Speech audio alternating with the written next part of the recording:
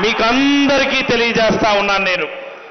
మరి ఆ దేవుడికి మనం ఒక్కసారి దేవుడు పంపించినటువంటి ఆ ప్రతిబింబాన్ని ఆ స్వరూపానికి ఒకసారి మనం కృతజ్ఞత తెలియజేద్దామా?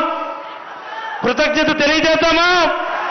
కృతజ్ఞత తెలియజేద్దామా? మరి దేవుడికి దండం పెట్టాలంటే ఎలా పెడతాం మనం? ఒక్కసారి ఈ వేదిక ముందు ఉన్నటువంటి మిమ్మల్ని అందరినీ కూడా కోరుతా ఉన్నా. మీరంతా కూడా ఒక్కసారి నిలబడి చేతులు పైకెత్తి మన దేవుని స్వరూపానికి ఒక్కసారి మనం కృతజ్ఞతలు తెలియజేద్దాం. ఒక్కసారి అందరూ కూడా జై జగన్ నినాదాలతో మనం కృతజ్ఞతలు తెలియజేద్దాం. జై జగన్! జై జై జగన్! జై జై జగన్! ధన్యవాదాలు. ధన్యవాదాలు సార్. ఈ క్షణం కోసం ఈ అద్భుతమైనటువంటి ఆవిష్కరణ కోసం మా ప్రాంతం అనేక దశాబ్దాలు ఎదురు చూసింది.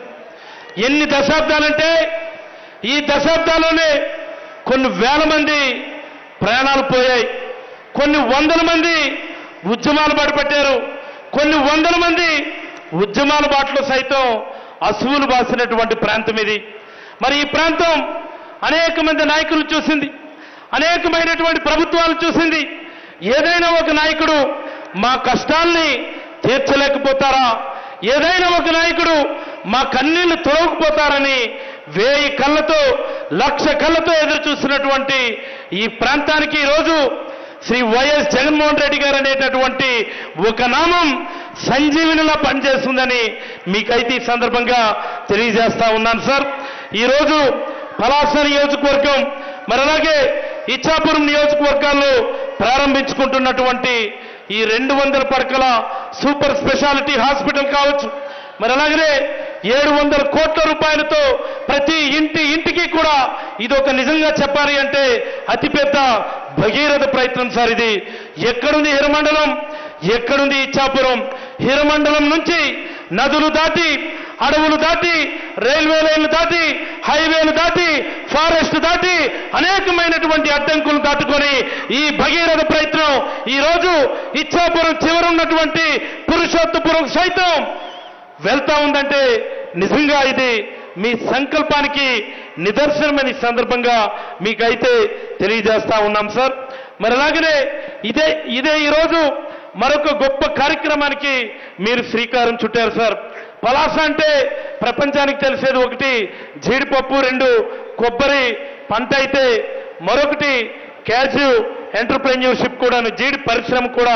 మరి ఈరోజు అనేక దశాబ్దాలుగా ఎదురు చూస్తున్నటువంటి ఇక్కడ ప్రాంత ప్రజలకి ప్రధానమైనటువంటి ఉపాధి మార్గమైనటువంటి మరొక అదనపు ఇండస్ట్రియల్ ఎస్టేట్ మీ ఈరోజు మీరు శంకుస్థాపన చేసినందుకు ఒకసారి పలాస నియోజకవర్గ ప్రజల తరపున మీకు హృదయపూర్వకమైనటువంటి కృతజ్ఞతలు తెలియజేస్తూ మరి అలాగే నా మాటలు విరమించే ముందు ఒక్క మాట ప్రజలందరికీ కూడా తెలియజేయాలా. అదేంటంటే ఈరోజు మనం చూస్తా ఉన్నాం ప్రతిపక్షాలు మాట్లాడుతున్నటువంటి మాటలు. ప్రతిపక్షాలతో పాటు కొన్ని పత్రికలు చూపిస్తున్నటువంటి వక్ర భాష్యాలు వాళ్ళు అనేక సందర్భాల్లో చెప్తా ఉంటారు. ఎప్పుడు జగన్మోహన్ రెడ్డి గారు సంక్షేమం చూస్తున్నారు కానీ అభివృద్ధి చూడటం లేదని వాళ్ళు విమర్శిస్తూ ఉంటారు. వాళ్ళందరికీ నేను చెప్పేది ఒకటే ఈ వేదిక ద్వారా నేను అడుగుతా ఉన్నా ప్రతిపక్ష నాయకులు కానీ ప్రతిపక్ష పత్రికలు కానీ మీరు ఏ గ్రామం అన్నా తీసుకోండి. ఈ నియోజకవర్గమే కాదు ఈ రాష్ట్రంలో ఉన్నటువంటి ఏ గ్రామం అన్నా తీసుకోండి. ఆ గ్రామానికి వెళ్ళిన వెంటనే మనకి ఆహ్వానం పలుకుతా ఉన్నటువంటి సచివాలయాలు రైతు భరోసా కేంద్రాలు విలేజ్ హెల్త్ క్లినిక్ అభివృద్ధిలో భాగం కాదా అని నేను అడుగుతా ఉన్నాను నేను.